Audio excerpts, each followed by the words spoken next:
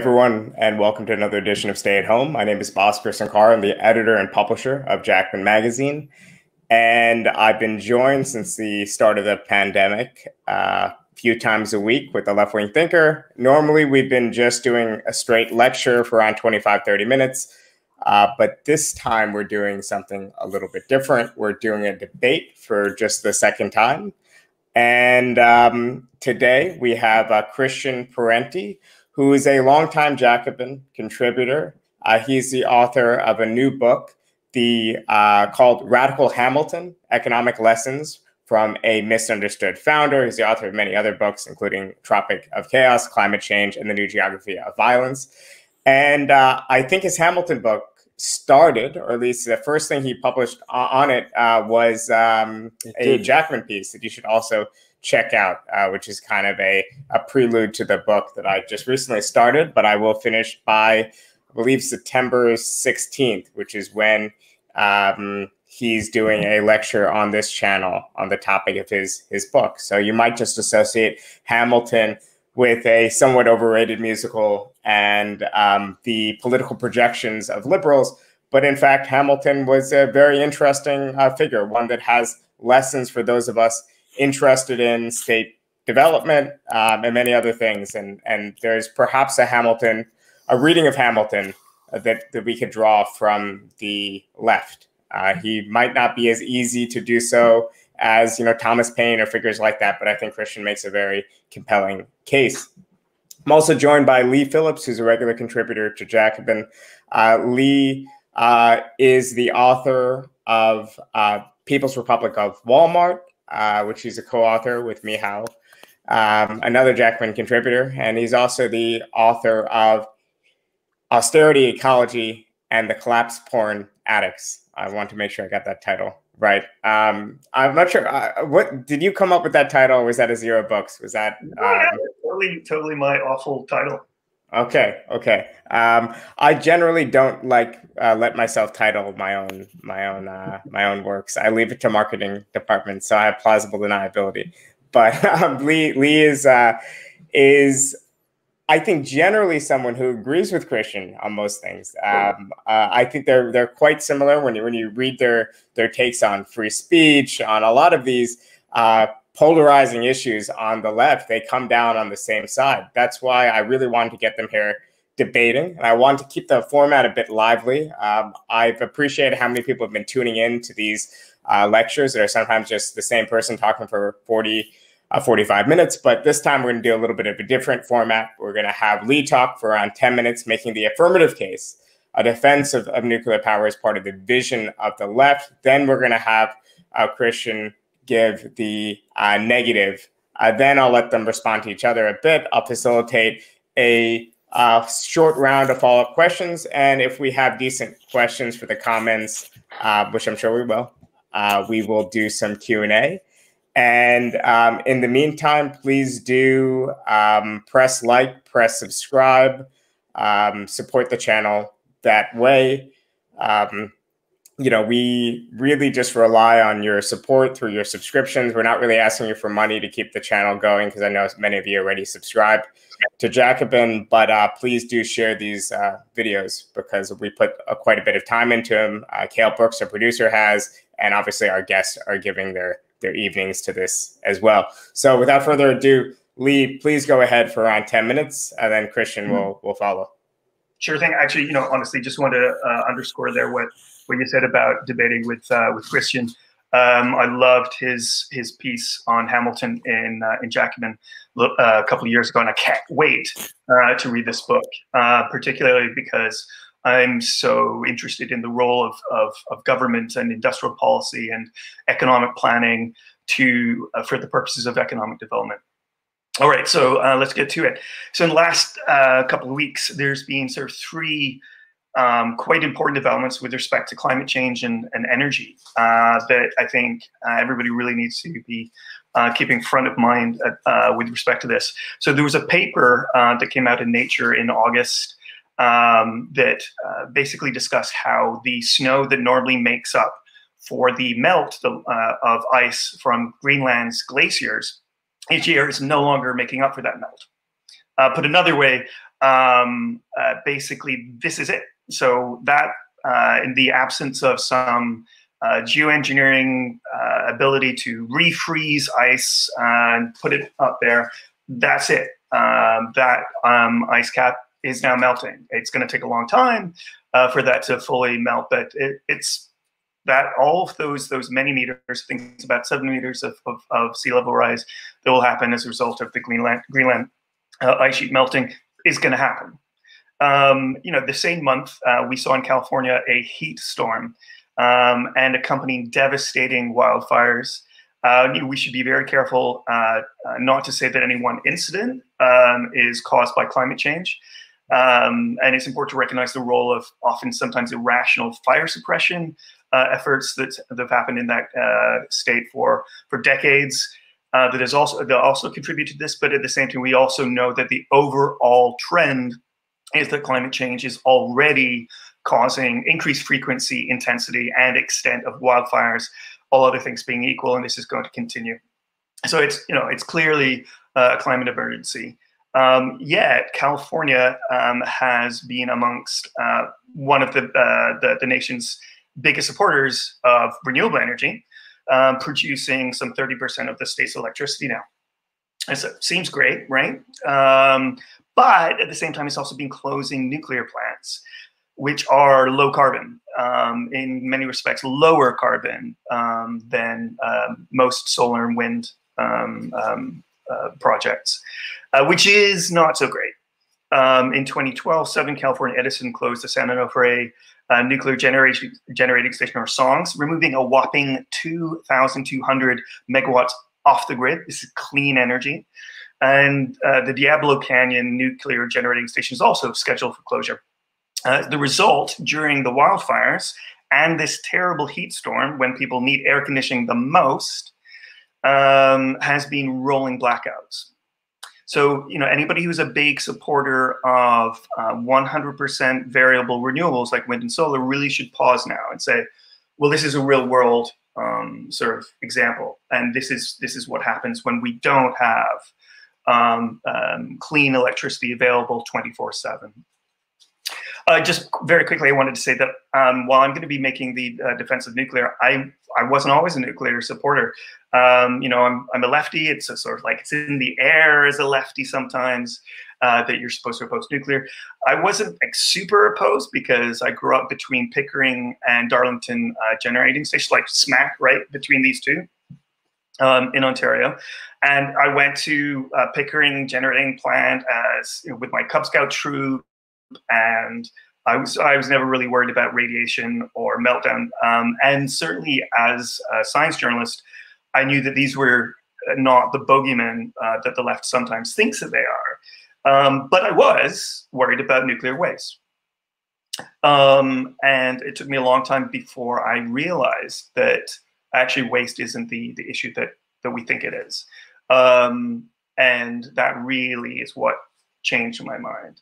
And I think there was also, uh, it was the result of a number of really progressive figures like George Monbiot, um, this great socialist and environmentalist campaigner in the UK, who came out um, as pro-nuclear. Um, Mark Lynas, another great um, lefty and um, environmentalist, also is pro-nuclear.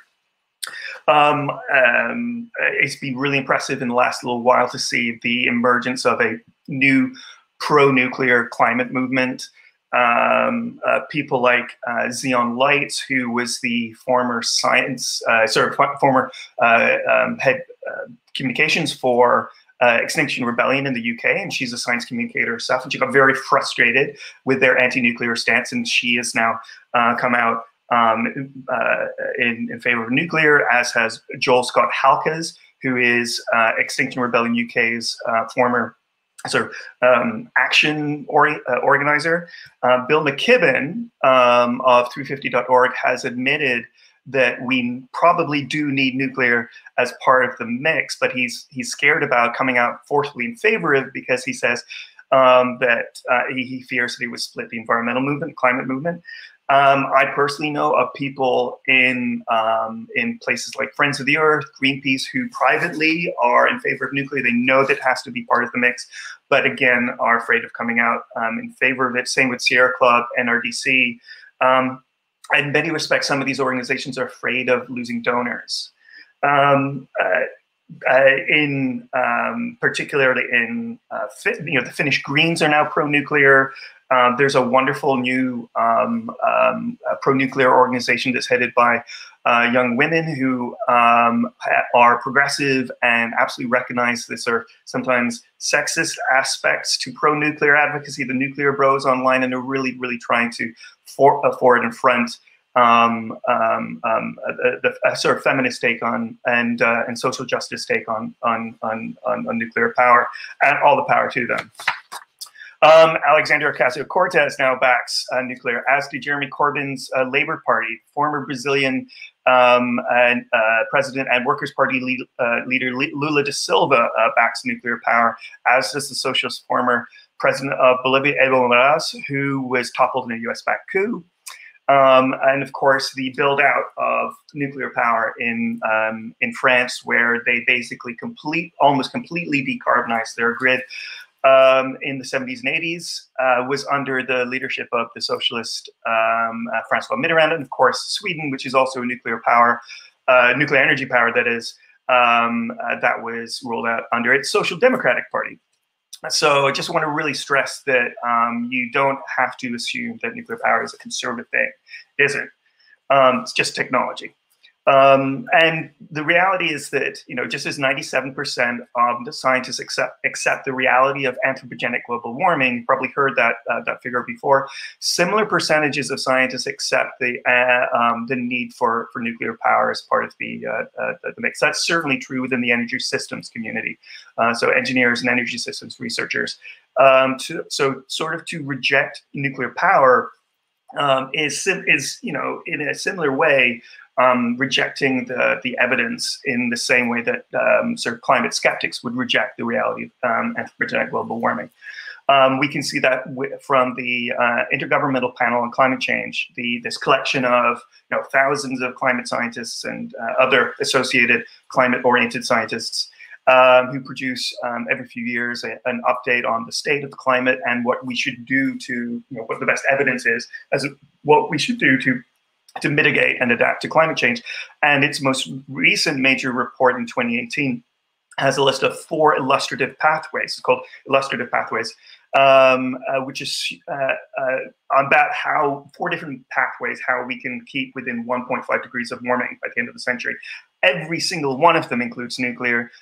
Um, and uh, they assume anything up to a 500% increase in the global share of energy provided by nuclear, so not just electricity, energy, um, by 2050 if we are to stay within this this this guardrail of warming. Um, uh, Kale, if you could throw up that uh, image um, of the the rates of decarbonization over history. No, not that one. Um, sorry. Yeah, that's the one. Awesome. If you look at that, that is a an analysis by Jameson McBride, a researcher with the Breakthrough Institute in California, an eco-modernist um, research uh, outfit. And he's also a democratic socialist, by the way. Um, and he came up with this uh, this analysis. He, he did an analysis of the fastest um, decarbonization rates in history. And uh, given the speed with which we need to be decarbonizing, this is a very useful sort of, uh, metric to be looking at. And he found that the fastest decarbon decarbonization rate in history was 4.5% uh, per year by France um, in the roughly 10, 12 years that it took to build out its uh, nuclear um, um, program. Uh, the all of the other ones there, it's very interesting to see that um, they are all state-led, and this is something I think Christian will really love. They're all state-led decarbonization efforts. Um, uh, where was I here? Um, there's a really great quote from uh, from Jameson. Actually, I just want to read. Each of the countries with the fastest historical declines in carbon intensity experienced a rapid clean energy transition led by the public sector Four out of five countries uh, achieve these declines primarily by building large scale clean energy generating projects, nuclear reactors, and hydroelectric dams. Um, and uh, uh, in, in, sorry, uh, Saudi Arabia transitioned from oil to natural gas. So that's a, somewhat of a decarbonization, still not fully clean energy, obviously.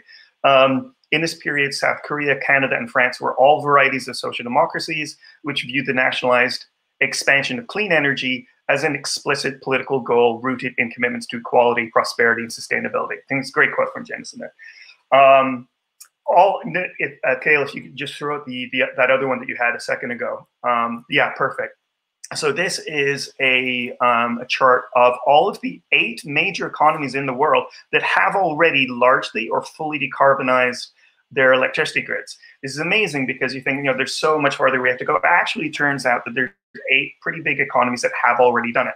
Iceland has done this as well, but I'm not including it there because it just has, you know, 340,000 people. These are all, um, you know, many millions of people uh, in their economy.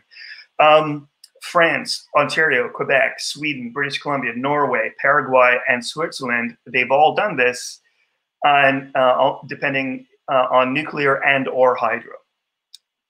Germany, meanwhile, okay, so thanks, uh, Kale. Uh, Germany, you know, gets all these hosannas um, uh, from many Greens for its energy Energiewende or energy turn, in which the country has spent a half a trillion euros um, on weather-dependent renewables like wind and solar, uh, using an awful neoliberal policy of feed-in tariffs that work to redistribute wealth from the poor up to the middle class. Um, and while they're shutting down their being shutting down their nuclear plants. This is resulting in some of the uh, most expensive electricity prices in Europe with some of the highest energy poverty rates. And for a few years there, emission, greenhouse gas emissions were actually increasing um, as it had as Germany had to open new coal plants and coal mines. So if you uh, Kale, if you could throw up the uh, um, European map there of uh, greenhouse gas intensity. So this is a map. If you can go, you can go on to. Uh, it's called electricitymap.org, uh, I think, or .com. Anyway, you can find it, um, and it shows you moment to moment uh, the energy intensity of anywhere in the world. Uh, this is a map of Europe from a few weeks ago, and as you can, and green, the greener it is, the cleaner it is. The the browner it is, the the dirtier it is. And as you can see, uh, France, Norway, Sweden, um, Finland are um, the, the, clearly the, uh, the, the, cleanest uh, there. Um, there's also off in the left, but as I said, just 340,000 people. Uh, meanwhile, that, that sort of light brown thing in the middle, that's Germany. Um, so, and the reason for all of this, the reason that this is a problem is basically the intermittency of wind and solar. The sun doesn't always shine, the wind doesn't always blow. Now, some on both the green left and actually the climate skeptic right argue that capitalism cannot run without fossil fuels because capitalism demands 24 7 energy, also called dispatchable. So you can have it anytime um, to basically to run uh, capitalism's factories. Well, socialism, including Medicare for all, also needs 24 7 energy. Uh, because you know when you're in the hospital, you don't want to wait for the wind to blow uh, in order to use a heart monitor. Um, as a science communicator, I've worked with uh, researchers on high altitude wind and floating offshore wind, uh, which radically reduces the intermittency, but it doesn't uh, go away, uh, eliminate it. Um, um, I have worked with researchers on wave energy, which is one of the, the least intermittent, but still intermittent um, renewable energy so just just uh, 20 seconds, Leigh. Yeah, yeah. I gave you I gave you an extra couple couple minutes, which I'll I'll dock from the end of our of our fake debate. But uh, but I want to hear Christian's uh, counter. So what, I'll let you sum up. Why don't you sum up in, in 15, 20 sure. minutes? Okay, so uh, very quickly, from, why can't we just have uh, batteries to um, uh, fill up the gap? Because uh, they only store energy for for a couple of hours, and we need um, um, energy to be available for you know storage for like weeks on end uh, when the, the wind isn't blowing, the sun isn't shining for a long period of time.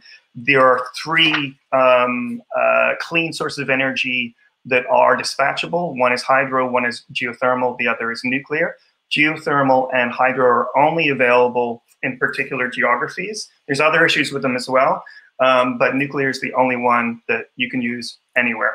Lots of other issues, but that's a, a good place to end. So we'll we'll hear from Christian now. So Leigh's advocating, of course, nuclear power is an as an important part mixed in with renewables mm-hmm. yeah. um, and, and other sources of energy. Uh, I think Christian will have some objections, particularly to your your timetable and the timetable to action. But uh, I'll let Christian. You can go ahead for as long as you want, 10, 15 minutes. Uh, then uh, okay. I'll, I'll, come with some shorter questions for both of you. After. Okay. Um, yeah, we got we got mostly a litany of innocence by association and not a lot of hard facts. So what I'm going to talk to you about is about the actual cost of atomic power and why atomic power has not been uh, rising to the occasion. It's been 20 years now that, that this country, the United States, has officially been pursuing an atomic renaissance, a nuclear renaissance. In, in 2002, George Bush streamlined the licensing process and put eventually $18 billion in subsidies on the table. Obama increased that to around 43 billion and 26 plants were proposed and only one is currently under construction. And this is this, this is the story of atomic power all throughout um, its history is that it, it again and again promises these amazing things and fails to deliver. And the main reason is that it is fundamentally just too expensive.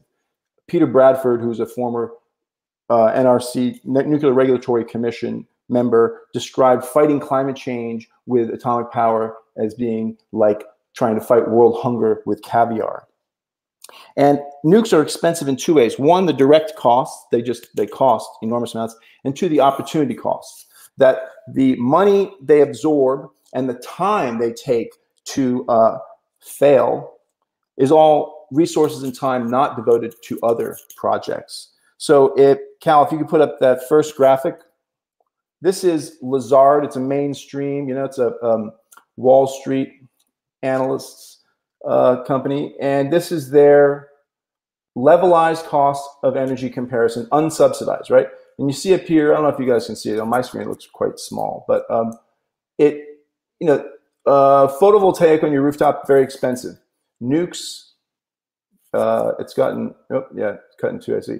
Nukes down here, if you go back up, you got, these are commercial scale solar voltaic, and this is uh, more uh, solar voltaic and wind down here, right? These are the price points, unsubsidized. Compare that to nukes. Certainly nukes beats photovoltaics. If you go back down, right? This is nukes. I don't know how that got broken up. But anyway, so this is why no new nuke plants are essentially being built in this country. And it's also why existing nuke plants are being closed. The reason that San Onofre in California was closed was not because environmentalists forced it because they were afraid of radiation or this or that, or because the climate plan mandated it. It's because the plant was only built to last 40 years and its steam turbine started to give out and Mitsubishi was contracted to replace this, and it cost $100 million, and Mitsubishi botched the job. And Southern California Edison then got tangled up in a lawsuit with Mitsubishi and realized they were going to have to invest even more money in this plant if it was going to just generate electricity. And the price of energy being what it is, due in part to the rapidly falling price of renewable energies, particularly solar and wind, and also, unfortunately, due to the fracking revolution and the cheap price of natural gas.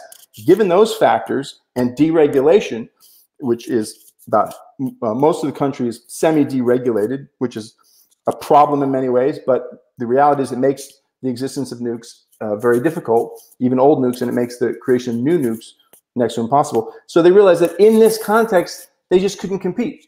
So that's why San Onofre was closed. Um, if you look at, if you could do the next slide, Cal. So this is a footnote. This is the footnote that accompanies that graph from Lazard about the unsubsidized levelized cost of atomic power, right? And they say, unless otherwise indicated, the analysis herein does not reflect decommissioning costs, ongoing maintenance related capital expenditures, or the potential economic impacts of federal subsidies, et cetera, et cetera. Okay, decommissioning costs are, are an enormous cost that society burdens, uh, uh, um, takes, takes on as a burden. Uh, atomic energy companies that decommission plants a, pay a flat fee, and then a lot of that actual cost accrues to the public. But the important part is the thing about maintenance, right? Even the the upkeep of these existing plants is causing them to have to retire. This is the story of what happened to San Onofre, also to Vermont Yankee, and to most of the four or five plants that have closed recently in the US. So that's the situation. And this is also despite the fact that they've received uprates and they've had, uh, which is allowing them to produce at a kind of higher rate than they were originally licensed to produce at. If you could go, Cal, to the um, slide number six. Yeah, okay, so this is this is uh, just a graph of the direction of the capacity build out of wind and solar. And that's fine. The uh, this is from the from the U.S. government, and in that accompanying document, it says it doesn't quite match this number, but it says because it's lower what they write. They say that since between uh, 2008 and 2018, 94 gigawatts of wind generating capacity were added. That is the equivalent of adding 34 Indian Point atomic power plants, right?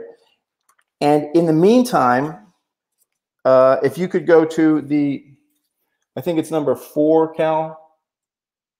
Yeah. So this is what has happened with the actual capacity and generation of atomic power in the US, right? You can see it's been flatlined since the mid 80s and nothing has happened. Now, this entire time, we have been hearing people talk up atomic power. There have been major government subsidies put on the table. For the last 20 years, this has finally just changed, but for the last 20 years, basically, the federal government was willing to pay 85% of the costs of a new atomic power plant. And still, all we have to show for it is one new plant that came on that sort of was predated all this was the Watts Bar 2 reactor, which is government owned, part of the TVA. And the Vogtle uh, units three and four in Georgia. And this is the only nuke plant that is currently under construction in the US. The first two units of Vogtle uh, ended up going into over 1,000% cost overrun. These two units that are under construction, three and four, were estimated to cost 14 billion. They're now going to cost at least 28 billion dollars. That's the equivalent of the entire GDP of Iceland or of El Salvador. And in the 12 years that this project has been going, not a single iota of clean energy has been produced by this project. And when it comes online, if it comes online, it's going to be some of the most expensive energy in the country. The only reason that plant is being built is because it's in the southeast, which is a region that was never um, deregulated. And so the utility gets to pass on the costs to the ratepayers, the customers. And there's also significant federal subsidies to that plant. Across the river in South Carolina, there was another plant attempted called the, um, the, the Summer, the VC Summer plant. And in that project, $9 billion was spent. Westinghouse went bankrupt and the plant was abandoned. And so nothing was achieved for $9 billion of both uh, public and private money. So this just illustrates the direct cost and also the opportunity cost. What could we have done with that $9 billion that was wasted on the summer plant? What else could we have done with the $29 billion that's being wasted on the uh, Vogtle plant in Georgia? Could have built out a lot of clean energy. The fact of the matter is that renewable energy is dropping and uh, that's making it impossible. The price of renewable energy is dropping, and that's making it possible for new nukes to compete, and even for um, current nukes, currently existing nukes. Um, in terms of battery, in terms of intermittency, intermittency is an issue, but there are solutions other than nuke plants. And nuke plants, new nuke plants, don't seem to be much of a solution at all because they don't come in on time. They're simply not being delivered, right? That's the main problem with them. They're too expensive. They make promises they can't keep and they don't show up. They don't deliver. So that's why they're, they're not a magic bullet for intermittency. There is um, battery storage, the price of which has dropped by 80% over the last decade. There's also hydro storage, which is used even in fossil fuel um, resources, where you just pump water uphill when you have energy, and then you run it downhill from two different reservoirs, run it downhill when you don't have the generating capacity and you generate energy with a turbine. So there could be limits to the geography of that, but we have not uh, reached them at all. One of the adaptations to climate change is definitely going to require building new reservoirs. The snowpack in the Sierras, I mean, Leigh began this with talking about snowpack, right? Well, California agriculture is going to have to do something other than um, other than relying on snowpack as temperature warm. So there's going to have to be reservoirs built. We could build storage capacity into that. But the main thing is that the price of battery storage is dropping precipitously. And I have another slide that illustrates, yeah. Again, it's not the amount so much, but just this is the trend line. This is the, the you know, you can see the, the, the build out of this. So the idea that uh, nukes are the only solution to intermittency is just not true. Um, so, so Christian, I think about 10 can minutes. You, can you wrap up in about yeah. a minute or so? Yeah. I mean, I just think, I mean, I, I'm, I'm done with that pretty much, but just, I mean, I guess to say the final thing is in terms of the only way that nukes can be built out is if they are 100%, if the costs are 100% socialized. Because the, the uh, I mean, that's basically the story with, with China, where there's, there was a new project of 27 plants, which has now been scaled back to 10. That's what the story of the French build out in the 70s. And even when you have 85% of the cost guaranteed, the private sector doesn't want to get involved with it because there are more profitable opportunities. Now, the situation why that is important is because we cannot wait for socialism to arrive to start decarbonizing our economy. The time frame of climate science indicates that we have to start decarbonizing our economy now with these institutions and this existing technology. And this is an absolutely imperfect system, and it would be really nice to have uh, the capacities of planning and subsidy that Leigh is fond of imagining. And I, I'm, support, I'm very supportive of going in that direction. But it is not okay to put off the task of decarbonization until those political conditions arrive.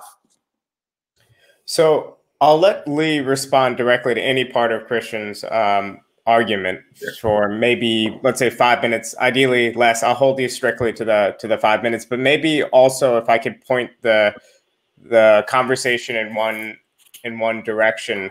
Uh, I do think the question of opportunity cost is an important one, right? So, in other words, obviously we are not Austerians, but there is a certain amount of of of time, resources, energy, either in a, a material sense um, that that we can expect the state to immediately kind of redirect to to clean energy, but also in terms of a political um, sense. So while we're fighting the battle over um, um nuclear power, uh, we might end up, um, you know, being in a situation where we're uh, fighting a battle that has no real re relevance because in the U.S. it'll take 20 years to generate and put on plants, you know, online anyway.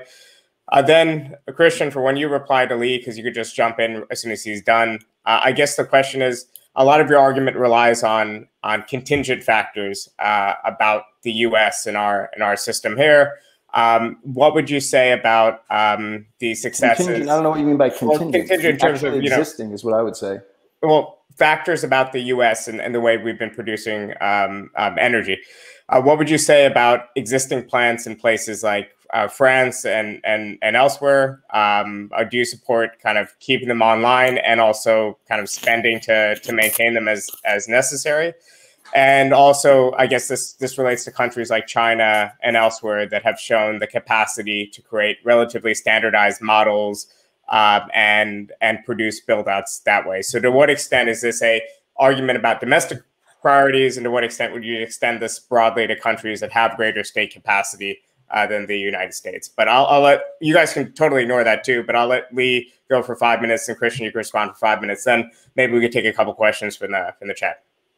Okay, so just very quickly, uh, batteries. Again, I really want to stress uh, the batteries that we have, even if they do come down uh, significantly in price, they're basically not really very different from the lithium-ion batteries that are used in your your laptop. So that means you've got basically that 10 hours there.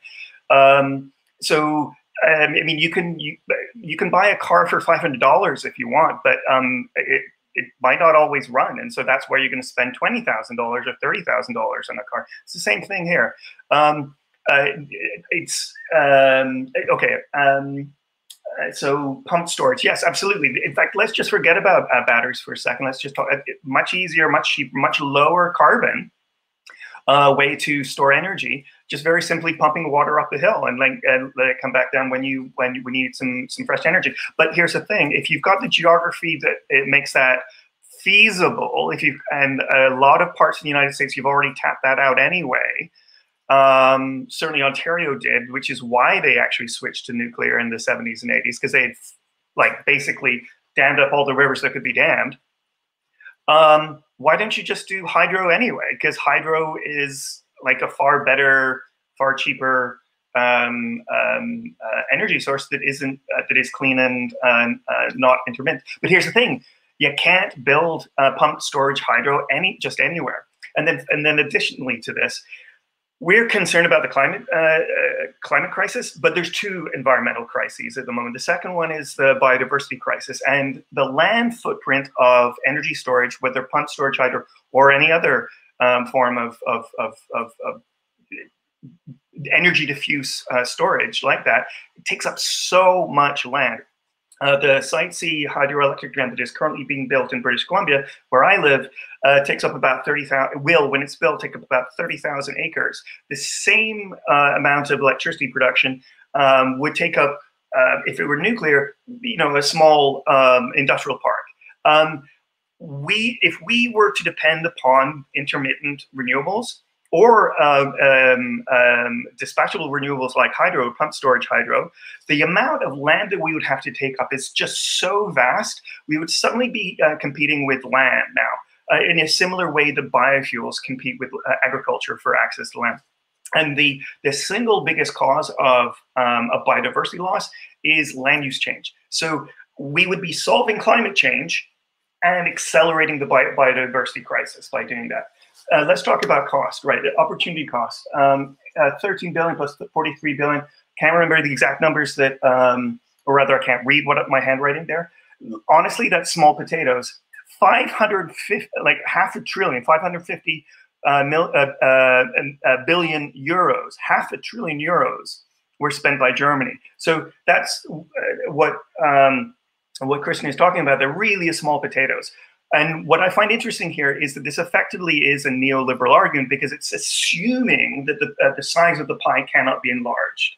It's assuming that we can't increase taxes to be able to do this. But actually, you know, to be honestly, uh, honest, already 500, the 550 um, uh, billion euros, that Germany could have done what France did. Um, and now they would decarbonize their grid. So it's it's it's a false argument to say that uh, it's an opportunity cost there. There's a there's more than enough um, space in that pie for uh, for renewables and for nuclear. And then uh, lastly, um, this issue of uh, actually, let's just talk about what some of these numbers are in cost. So. Um, uh, uh, the, KEPCO, the Korean energy company, which is publicly owned, by the way, um, has been building out uh, nuclear power plants, uh, 17 nuclear power plants since the 1990s, with uninterrupted. The problem basically in the West, particularly in the United States, is because of neoliberalism, we stop building stuff. We stop building large stuff. Um, uh, it's a, it results the neoliberal fear of mega projects. Um, it, uh, Korea, which is less neoliberalized than the United States, managed to continue that process. And the what's what's useful about um, uh, continued uninterrupted um, uh, is this constant learning, which is where the cheapness comes from. Uh, so they built out uh, recently in the last eight years, they built out four units uh, for uh, it, for the UAE, the United Arab Emirates, um, at, at, a cost of 20.4 billion. That's four, four, four units. Um, the resulting uh, energy price is 50 uh, dollars US per megawatt hour. Now, for comparison, offshore wind from the U.S. Energy Information Office put offshore wind as of February this year um, at an average of 115. So let's so 51 versus 115. So nuclear is like half as uh, half as expensive as, as offshore wind, and offshore wind is basically our best option for the least intermittent uh, intermittent renewable. Um, and um, so it's just, and in terms of the um, delivering on time and on budget. It hit the, the budget uh, numbers, and it took eight years, or an average for four units, so an average of two years per unit. That is exactly the uh, the speed that we need to be. Uh, uh, so, so, so Leigh, Leigh, can I can I interrupt you with just one quick question before we go to Christian? So obviously, cost in your argument isn't a fixed thing. It's it's it changes. So South Korea is able to decrease costs over time, but in this along the same lines, cost um, as it relates to offshore wind presumably could decline too, because cost for wind, um, you know, on land has been has been um, uh, declining. Like neither of these are, are, are fixed, we've had, we've had the learning of, and, and that's great. But we've had the learning of uninterrupted production of wind turbines and uh, solar panels for the last 20 years, supported by um, uh, enormous um, uh, public subsidies and, and industrial policies. And that's great. That's exactly what we should be doing. That has not happened for, for nuclear. So um, uh, Christian said that there, you know, there is this, you know, uh, atomic renaissance process to support what the, the numbers, the penny, it's pennies that's being thrown at it is not an industrial uh, policy in the way that um, uh, wind and solar have seen that level of support. So, so we, we, we, would have even cheaper um, uh, nuclear if, uh, if, if we had a dose of socialism, basically. So, uh, Christian, why don't you go ahead for, for five minutes or so, and yeah, then uh, then we'll uh, get to a couple questions. I mean, what, you know, what you, you're just kind of making stuff up here, Leigh. What there, there's been there's been no support for atomic power. What are you talking about? Eighty five percent of the costs have been covered by loan guarantees. There hasn't been learning. We've been making atomic power plants since the 50s. I mean, what are you talking about? Wind, wind, offshore wind is just now developing. Certainly the prices will come down. And getting back to that Lazard graph that I showed you, which was unsubsidized, right? Wind and uh, commercial PV are just, uh, PV solar are just wiping out nukes. So the thing that the pro nuke side has to explain is why, if this technology is, as they have been saying since the 50s, amazing, right? Remember this, this was, uh, this technology was rolled out with claims that it would be too cheap to meter. At first, the idea was, oh, we're gonna have tiny nukes everywhere. That turned out to be impossible, totally expensive. Things weren't coming in correct. Then it was like, okay, we're gonna have really big nukes. In the long run, only a fraction of all the nukes imagined were built, and they have all been very, very expensive. And there has been ample opportunity over the last 20 years for the Atomic Energy Agency, I mean, for the atomic energy industry in this country to build out all sorts of nukes. We were promised in 2002 large numbers of nukes thanks to the changes in licensing and due to new forms of technology. And it didn't happen. And this is what you guys have to explain. And there's always something new. Now, the latest one is small modular reactors. Well, we've got one project of that that's being planned and moving forward with very considerable subsidy, around $4 billion worth of subsidy from the federal government.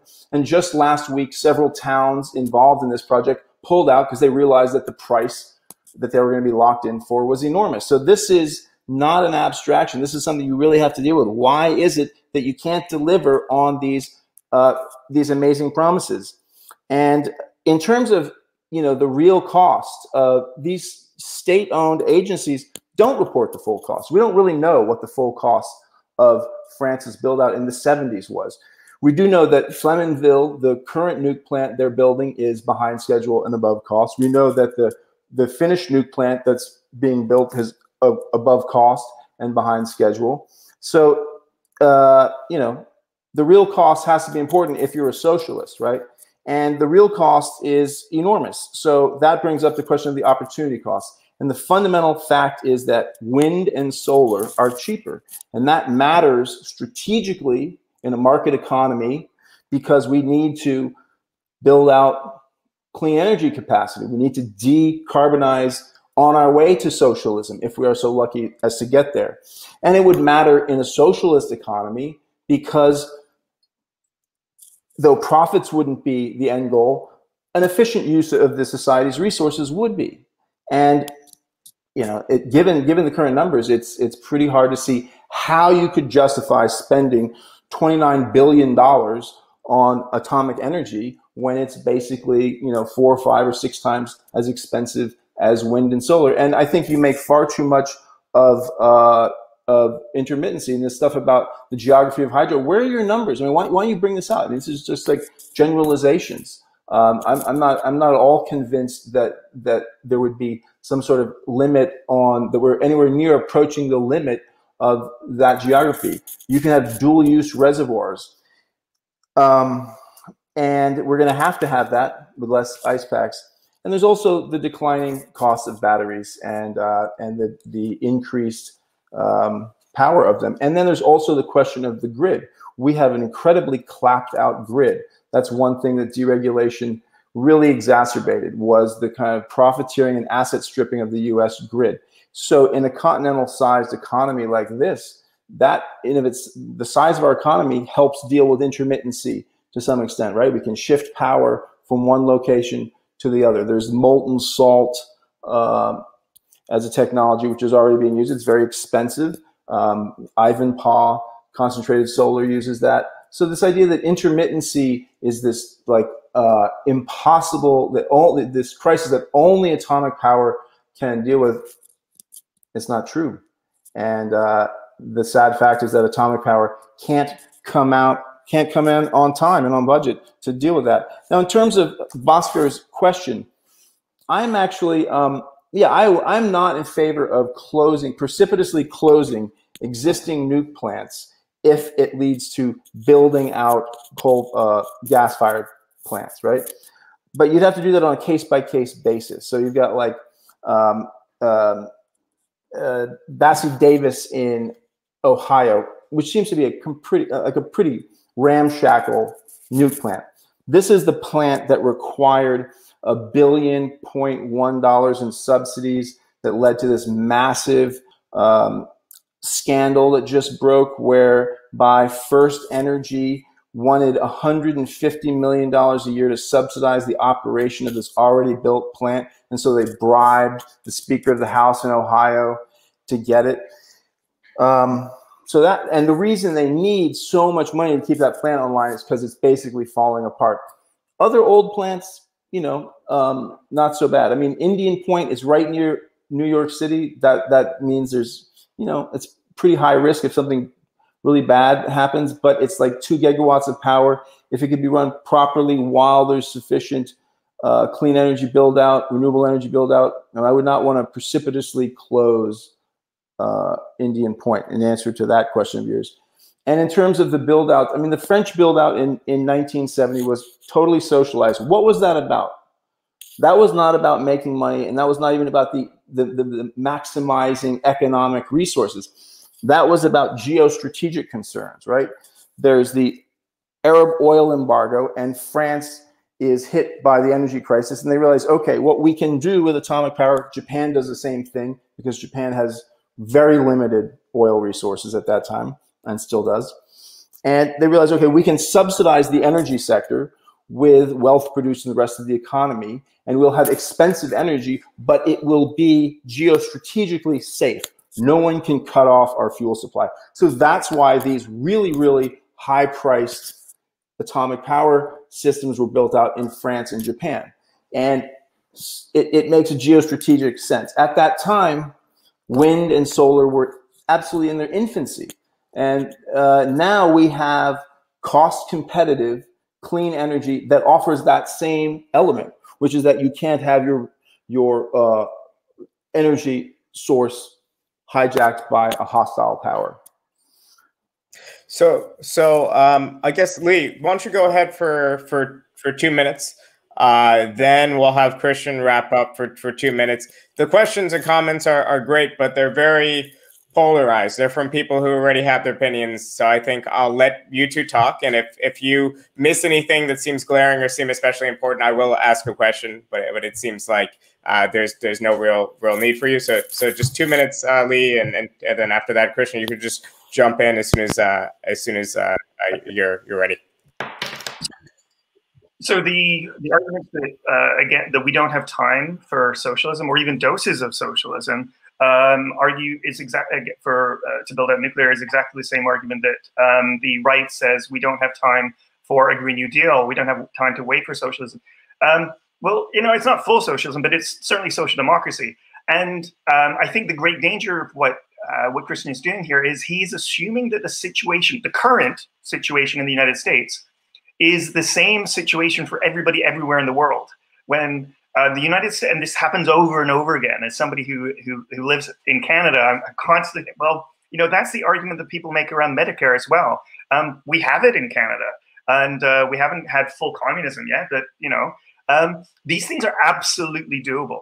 I don't care that France did it and Germany uh, and Japan uh, decarbonized their their uh, their or largely decarbonized their their grids as a result of an oil crisis. People didn't know about climate change at the time. That it simply doesn't matter. Uh, the point is how fast they were able to do it. That's the crucial thing, and and time is of the essence right now.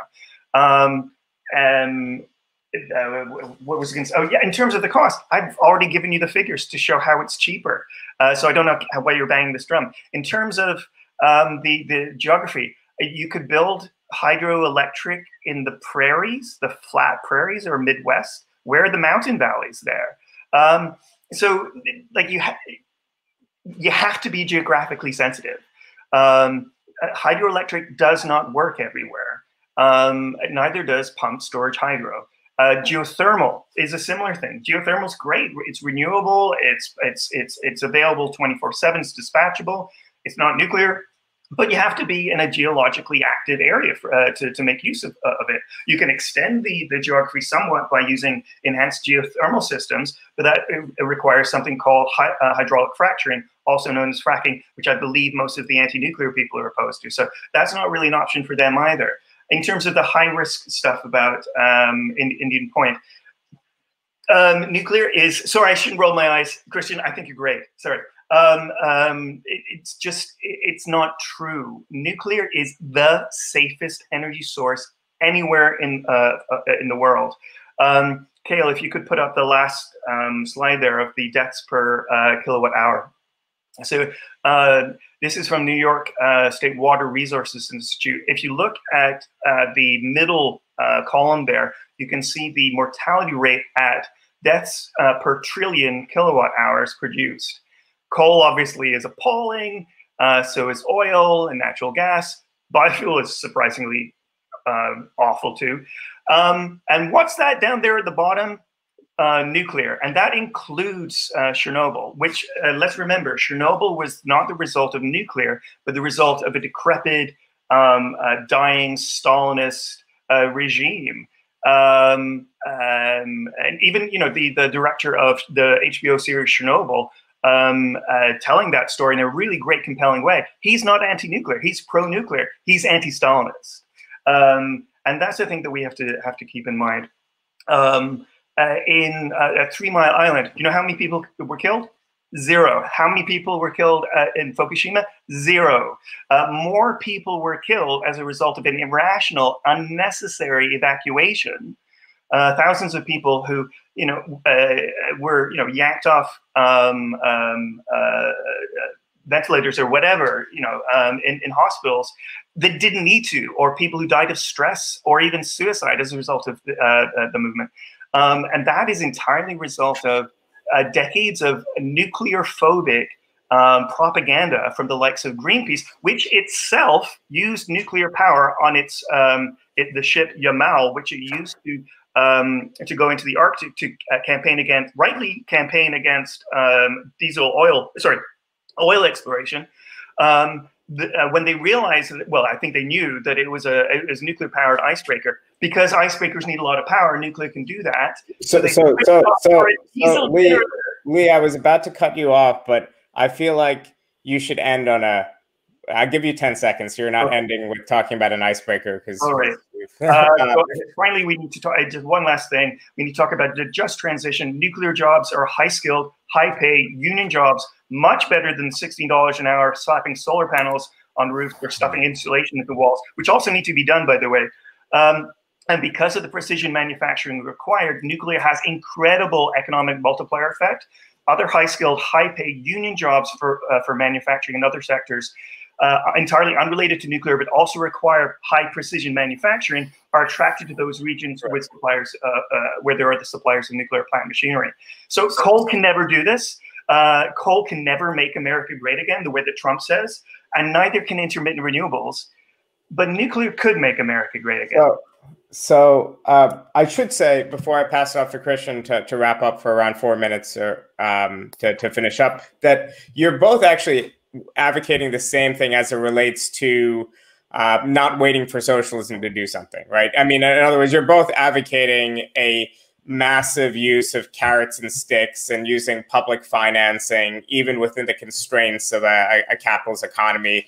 Um, I think some of the best work that I've read on this was Christian and, and Dissent magazine. I think wrote, wrote, a couple pieces on on on this use of um, kind of the the development state theories as it would relate to something like the the Green New Deal before the Green New Deal was in circulation. So I think you both agree on the uh, time horizon, what should be done um, uh, strategically, just not what should be invested in. You know, whether whether nuclear should be part of the mix. So I wanted to just uh, give that that caveat, just so Christian focused on the other other things instead of rebutting maybe that that portion where I don't think there's actually a, a disagreement between uh, the the two of you. Neither of you are waiting for for full socialism.